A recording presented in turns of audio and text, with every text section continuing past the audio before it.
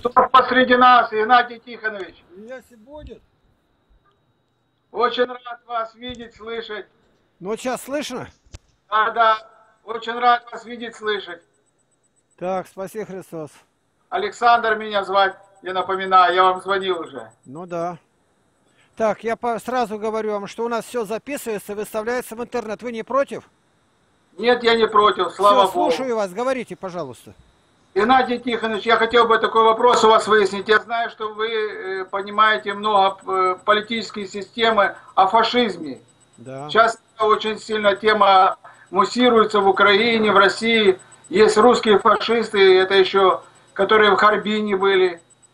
И есть казаки такие поддерживают, придерживаются вот таких взглядов. Меня интересует тема фашизм и отношение к Гитлеру. Как он, кто он, зло, что он такое, что он нес и что за ним стояло. Видите, я был когда в армии, я занялся изучением всех политических систем мира. Я нашел, что лучше фашизма человек еще ничего не придумал. Это самая лучшая система, но при одном условии, что Бога нет. Вот если Бога нет, людям никогда не изобрести ничего подобного. Если раз развален, такая инфляция, Германию поднять и против всего мира бросить, это вообще невозможно никому и никогда. Более умной личности, чем Гитлер, может, со времен Христа больше не было. Но если есть Бог, Бог, а Он есть Бог, тогда прямо нужно сказать, это был дьявол в человеческом образе. Вот с какой позиции можем рассматривать. Как христианин, я вам говорю. Он был умный. Неужели он не понимал, что будет не так, как у него замыслено? Не, не так, как хорошие его специалисты, политологи рассчитали ему а будет так, как написано в Святой Библии. А в Святой Библии написано, из всех птиц Бог избрал голубицу, из всех животных избрал овсу, из всех э, зверей там перечисляет Господь, из гор каких, из всех народов один народ был избранным, народ Авраама. Нравится мне, не нравится. А как может нравиться, когда везде все евреи, чубайцы, э, все захватили, и у вас ну, в Днепропетровске что евреи делают? Но надо посмотреть, что Бог говорил. Это закваска мира. И абсолютно бесполезно делать что-то. Более радикально решить окончательно еврейский вопрос, чем Гитлер никто не мог сделать, как он. Он их и цыган в печь, живьем. То же самое делал Сталин. Но где Сталин, где Гитлер? И какую силу набрали евреи после этого? Неужели непонятно? Я повторяю, с евреями надо бороться всей силой, какая есть. Но оружие одно – любовь. Любовь. Это молитва, чтобы они приняли Христа, Мессию истинного, а не того, которого они называют Машах, и который будет антихристом в храме сидеть. Это невозможно, Александр, ничего сделать. Это Божья режиссура. Ну, Бог сотворил человека. Ну, не сказал, что мужик на мужике будет жениться, но дал ему Еву. А сегодня секс меньшинства, это ничего не, не поможет. Написано у Даниила, вышел из моря Овен, Овен баран. И он бодал налево, направо, никто не мог противостать. Но вдруг вышел козел. И он бросился с яростью и растоптал этого овна, барана. А кто это козел? Александр Невский. Бросился на персидского царя Дария. А из него теперь вырос рог из него четыре. А можно сделать, чтобы два? Нет, четыре. То есть царство Александра Македонского распадется на четыре государства. Это занаряжено. А кто-то сказал бы, я не согласен, но это твое мнение. Но мы поднимем все силы, весь мир бросим, ничего не сделать. Евреи никогда не исчезнут, никогда не будут они побежденные. Почему? Это Божий план. И в конце мира евреи обратятся. А то, что сейчас хватается за фашизм, это подготовка царства Антихриста. Он был как от дьявола, и они сейчас за это ухватывают. Все фашисты подготавливают пришествие Антихриста. Вот так надо смотреть. Но если только жить на земле и по-хорошему, чтобы мы были счастливы, дети были породистые, ну как у него было сделано, у Гиммлера, ну я, я очень много фашизмом занимался, очень много. И скажу, что лучшей системы ни, никогда не придумать. Это самое точное, потому что это дьявол. При условии, что нет Бога. А раз Бог есть, значит это восхождение зла, распространение ада на земле. Это был даже не человек, а дьявол в человеческом образе. И Гитлер, и Сталин. Фаша, фашизм означает связка, пучок. И коммун, коммунизм, это тоже общее. Общее называется. Это одно и то же. И то, и другое хорошо. Национал-фашизм Коммуна, фашизм, вот это плохо. Когда возвышается одна нация, как Украина, слава Украине, это фашизм. Самый настоящий. Мы нигде не можем говорить других слов, как слава Иисусу Христу, слава праведному, Святой Троице. Вот я вам отвечаю. И я отвечаю не сегодня это, а отвечаю почти 60 лет. Как я этим делом занимался и пришел к выводу. И это я докажу любому, кто бы он ни был, в течение одного часа. Обещаюсь. Фашизм – лучшая система мира без Бога. Если кому заинтересует мое мнение, вы так и ответите. Скажи, я ответил так. А раз Бог есть, значит будет, как написано в Святой Библии, как Дух Святой сказал. Это дьявол вылез из, вылез из преисподней, и он умный очень, умный дух. Он был херувим падший. А фашизм не может подготовить приход православного царя. Вот, вот русский... Прав, православный царь это и будет антихрист. Это хорошо Осипов сказал. Потому как они сейчас царь, искупитель. Какой царь искупитель? Христос. Это безумие полное. Я с Осиповым не согласен в чем-то. С этим полностью согласен. И есть такой намек, что русские примут первое. И будет венчаться, патриарх православный будет венчать на царство его. Они уже подготовлены русские к принятию Антихриста. А им обязательно нужно с властью слепиться. А власть вот такая и будет. Нам нужно одного ждать. И ей гряди, Господи Иисусе, чем заканчивается вся Библия. И слышащий да скажет, приди, да придет царствие Твое. Да будет воля Твоя, не моя. И на этом все. Это вы правильно сказали. Да, Игнатий Тихонович, а вот венчание, вы говорили о том, что венцы должны одеты быть на голове, венчание. Да. А если не одевали... Значит, момент... венчания нету. Значит, что по-новому венчаться? Не знаю но только венчания не было. Какое венчание, когда не, венцы не надеты? Это любому понятно. Во всем мире олимпийские чемпионы получают венок, оттуда идет, и на голову. Видел я на голове его венок. Где венок терновый был у Христа? Не над ним, а на голове. Терновый венок, терном увитый. Это придумали попы. И вся эта зараза ползет с Украины. Православия не было никаким. Они не крестят, они католичные там. Украина – это вместилище всех сект, какие только существуют. Это помойка. А то Раша, Параша начинают там. Параша – это Украина, вот это с сектантами. А Россия, она ничем не лучше, она такая же. Два блудника сошлись. Так а какой выход теперь, как бы с венчанием? Что, повторять? Не знаю. Отвечаю здесь, я не знаю. Надо довериться Богу. Ваша верность. Пусть этот брак будет защищен на небесах, но венчания не было. Брак благословенный может быть, нормальный, признанный. Бракосочетание есть, а венчания нету. А если вот человек до крещения, до крещения имел э, одну семью, вторую семью развелся, а потом покрестился, он как считается? Прощено все, если такого не был крещеный. Мирское не засчитывается, он даже может быть священником. Он может быть священником, он считается, не было у него браков.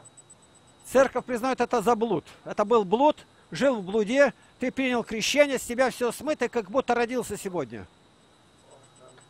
Вот весь ответ. Так было всегда. Павел убивал людей, Савл. Гонитель. На нем была кровь. Это не просто жена какая-то. Он в другом городе в Дамаске искал убить. Истреблял всех. И однако он стал апостолом. Почему? А потом зашел Анания, 22.16, Деяния апостолов, говорит, что ты медлишь, брат Савл, встань, крестись и омой грехи твои, омой. Вот теперь все с тебя смыто, и ты как будто сегодня родился на белый свет. Я, говорит, был продан греху, но теперь выкуплен. Счастливые люди, которые принимают крещение во взрослом возрасте. Ну, я после того, как прослушал ваши передачи, я, получается, 20 лет ходил в церковь, причащался, исповедовался, но я крещенный не был. Я покрестился вот только осенью. Ну, потому что меня не погружали. Меня совершили обратно крещение, но не мазали. Погрузили три раза, но не мазали. Ну не мазали, Теперь. потому что ты там был помазан раньше. Да. Это правильно, Если совершенно я... правильно. Раз помазание Если... было, оно не повторяется. Крещение, погружения не было, его надо сделать и все. Не надо думать, а я причащался. А за это благодари Бога, что ты живой остался. Но сегодня живи так, как заповедает Христос. Чисто, свято. Игнатий Тихонович, а как относиться вот сейчас к московской патриархии? Я, получается, ну не хожу туда, потому что хоть и живем, вот Лавра здесь, Сергей Посад, но знаем беззаконие, которое творится, мы смущаемся ходить туда. Так, знаем так, патриарха. Так, так, так не годится. Идеального священника вы не найдете нигде. И вы обязательно будете везде находить это. Закройте глаза. Если вы, вы знаете, что ну, что-то не так. Конечно, если он гомосексуалист или там пьяница, разговоров нету. Надо писать в синоты, чтобы убрали его. Или ходить к другому. Ну, просто так замещают. А вот поп не такой, а вот у него там что-то где-то, там две машины начинают подыскиваться. Это не годится. Нам Бог не обещал идеальных священников. Он единый Бог. Взирайте на начальника совершителя веры. Священник, служитель истины, хотя сам не, не поистине поступают. И поэтому надо довериться. А я не буду ходить, ну еще ты кому-то еще докажешь-то. А мы ходим. Мы ходим, правда, мы к православной русской зарубежной церкви относимся, но мы в той части, которая признала акт о каноническом общении. К нам приезжают архиереи, священники, у нас все вместе, но мы им не подчиняемся. На богослужение слух Кирилла мы не поминаем. Мы поминаем Илариона, русской православной зарубежной церкви. Ну, понятно, вы знаете своего священника, да. вы правильно, у вас правильно совершается литургия, все, без всяких отклонений. А если я знаю, что это они не свергнуты уже из сана, Бог их уже из сана извергнул. Но надо Вообще... тут разобраться. Извержен он по канонам, но это должно как-то быть зафиксировано. Нигде каноны об этом не говорят. Здесь язва, падение, пропасть очень глубокие. И надо быть крайне осторожным. Крещение если не было, тут вопрос снятый. Вот я, допустим, я против католиков не имею, но что бороду бреет, я никогда не соглашусь. Это беззаконие. Бороду не должен даже близко прикасаться, она тебе не принадлежит. Режь ухо себе, про уши не сказано. Язык подрежь маленько, чтобы не болтать. Бороду не трожь. Без бороды было полбороды. Давид даже в земной Иерусалим не запустил. Это хуже изнасилования. Они были очень обесчещены. И мне доказывать ничего не надо. Я один раз прочитал, все понял. Я даже на военном билете с бородой. В советское время это надо понимать, как это было. Тебя... Ну, я хоть больше 10 лет ходил с бородой, все такое большое. А после того, как э, случилось, что война, чтобы причислить себя к украинскому народу, а казаки с усами, Нет. я сбрил бороду и оставил усы. Никак. А не, годится, не годится время... никуда, это предательство. Наоборот, они должны тебя обидеть христиан. Я к ним примазался, да ты какой-то, -то, ты никакой вообще. Что такое? Я хотел, чтобы меня заставили. Ты наоборот покажи, я не с вами. Не с вами, я с Богом, со Христом. Четко и ясно. Мы коммунистам так и заявляли. Я писал стихотворение «Падет КПСС». Меня они обещали вообще сгноить, я никогда не выйду из тюрьмы, а я вышел. Меня 26 лет психиатрия мучила. 26 лет, это не два дня. И они ничего не могли сделать. Ничего. Подмазался бы им. А у Гитлера, любите, вот так под носом было. Ну и давайте под Гитлера теперь бриться. Борода неприкасаема. Ни усы, ни бакенбарды. Это все одно и то же. Четко и ясно. Бриту выброси сегодня же. Просто попроси прощения и, и никак скажут. Ну еще теперь. На Украине сколько священников православных, их никто не убивает, они служат. И там митрополиты, никто их не трогает. Ануфрий там.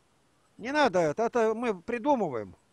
Не, ну у нас казачество Запорожское, они, э, так принято было, усы, оселедец, у нас другой вид. Знаю, знаю. Знаю, Тарас Бульба, там они хохол называется, на голове щупрына, усы длинные. Нам зачем на это смотреть? У нас иконы есть, посмотри. Везде иконы, везде с бородами, все апостолы, все пророки. Христос, нам образец Христос. Что у Христа бритое было подбородок, что ли? Как жить братьям вместе? Украине и русским как? Это как елей, стекающий на бороду, бороду Арону. Бороду! Бороды нет и мира нету. Без бороды мира нету. Там война. А где борода, там мир. Че такое? А ты наоборот содействуешь войне без бороды. Как елей, стекающий на бороду. Бороду Арону. Бороду. Вы считали это? Это псалтырь. Псалтырь считают. Мы же не написано, что мир это тогда, когда стекает там елей или деколон на бритый подбородок, оттуда на галстук. Нет этого. Да, а вот у меня жена баптистка, вот я молюсь за нее, чтобы она открыла для себя православие. Да вот Но мы были... Через бороду вашу увидит-то. Да, вот мы венчаны были. Мы венчаны были, и она не была, но она не православная, я православный. а она не православная, и нас венчали. Это считается же венчание? Конечно. Все считается. Твердо держи. А она где живет-то? В Америке. Ну, она что, на- назад не думает приехать? Да, да, вот сейчас летит. Летит. И мы хотели просто в Украину, а меня не пустили из-за того, что война там. Запретили въезд на три года. Из-за того, что война. Вам, говорите, сколько лет-то? 50. 50. А вы переезжали к нам сюда? Жену Я, вели? я- я хотел к вам приехать, хотел к вам, мы хотели к вам жить уехать. Ну, да. И там и семья еще с Италии, они у Ант- Антония Орлова окормляются там в Италии. Я И знаю хотели- Антония Орлова. Я у него дома жил две недели на квартире.